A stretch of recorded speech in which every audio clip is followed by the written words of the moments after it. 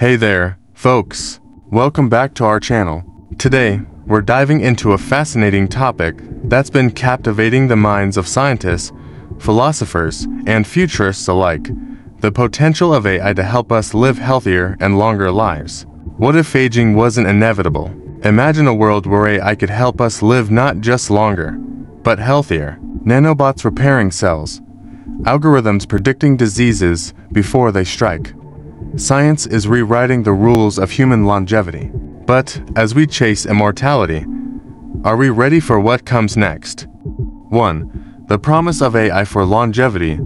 AI is cracking aging's code. Take AgeXtend AI that screened 1.1 billion compounds to find anti-aging drugs. It rediscovered metformin and taurine, proving machines can spot what humans miss. Meanwhile, projects like in US Medicine's LL-MIS analyze your genes to design personalized therapies that could add decades to your lifespan. Futurists like Jose Cordeiro believe by 2030, we'll hit longevity escape velocity, where tech extends life faster than we age. His vision, nanobots scrubbing your cells clean while AI merges your mind with the cloud. 2. The ethical landscape, but immortality has a price tag.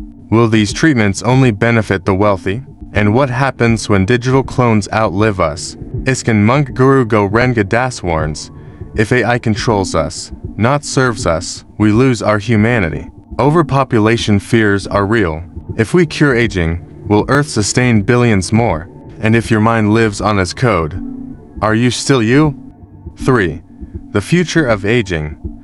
AI, in just fighting aging, it's redefining biology. Researchers now use machine learning to engineer organs and tissues that regenerate like a lizard's tail. Imagine artificial kidneys that never fail or neural implants boosting your memory beyond natural limits. Some, like ETER9's Henrique Jorge, see digital clones as immortality's next phase. Upload your consciousness, and your AI twin lives forever. But is this evolution, or a farewell to humanity as we know it? 4. Current breakthroughs.